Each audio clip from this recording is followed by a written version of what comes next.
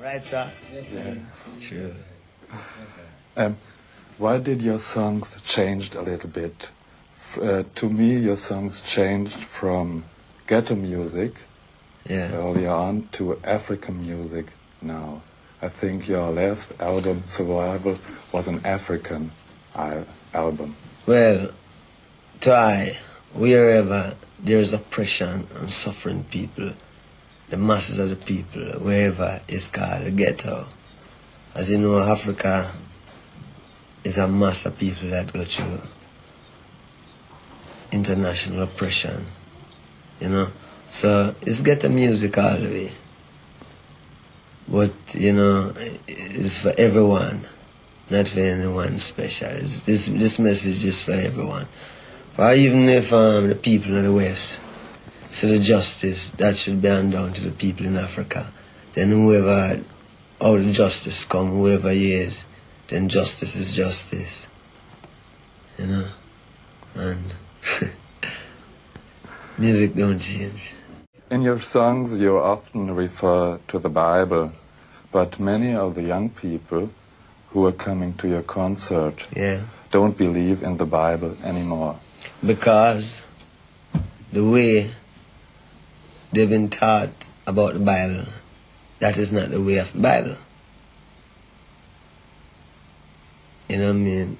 Because if I was living in that world where the everyday interpretation of the Bible go on, then I would have eat the Bible too.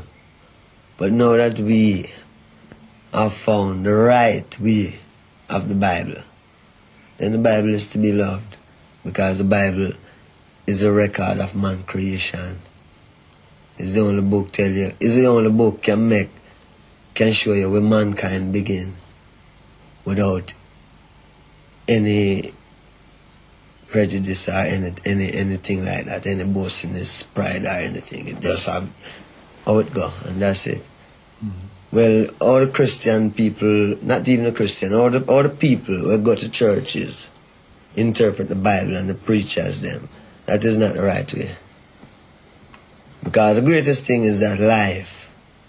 See? It's life. Life I deal with.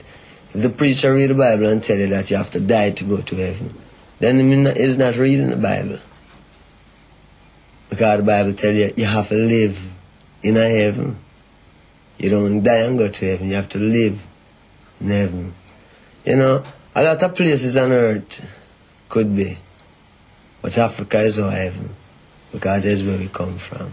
You know, maybe if it's a Swiss, maybe if you're from Switzerland and the people know God, then maybe you could live in peace, unity, harmony, you know, you know. But, you know, people are stubborn on this earth because of material vanity. How big is the influence of the Rasta communities in Jamaican culture and politics today? And perhaps you can give some examples. Well, you know, as Rasta, we're dealing with not politics, but our own tradition cre- from creation, from the root of mankind.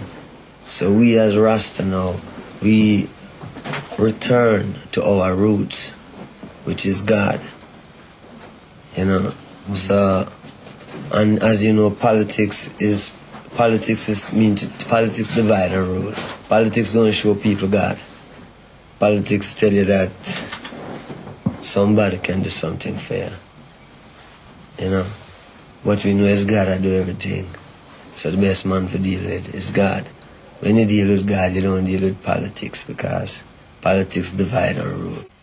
You fight now for many, many years. Huh? You fight now for Oh, we got many millions of years Yeah. to live after the fight over, man. Because the greatest thing is to fight for life.